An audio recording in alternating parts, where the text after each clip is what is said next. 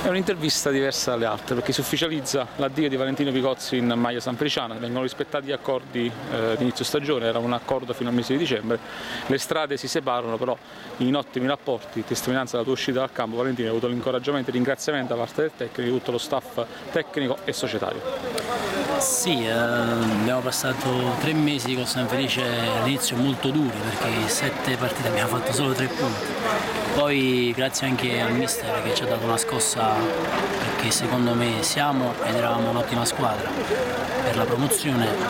Abbiamo fatto sette partite, sei vittorie e un pareggio e penso che sono ottimi risultati in promozione, anche per il San Felice che è un record diciamo ad oggi.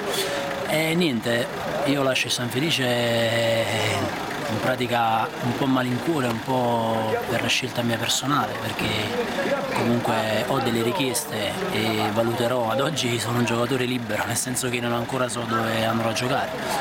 Non ho trovato un accordo per rimanere col San Felice, eh, purtroppo capisco la società che fa dei sacrifici, però io ho delle esigenze mie personali, non lavoro e sono andato incontro in questi tre mesi alla società, sono fiero di averlo fatto perché ho dato una mano a delle persone secondo me degli amici che fanno calcio e lo fanno bene e niente adesso vado via e non so ancora dove andrò però ho delle richieste e valuterò un attimo piacerebbe restare in promozione o allontanarti dal Casertano?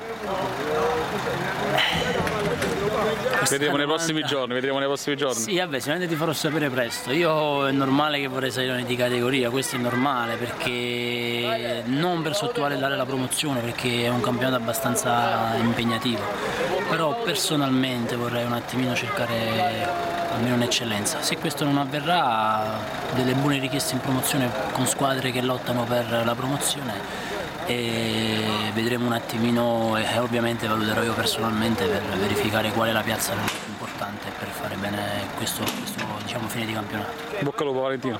Crepi, grazie. Ciao.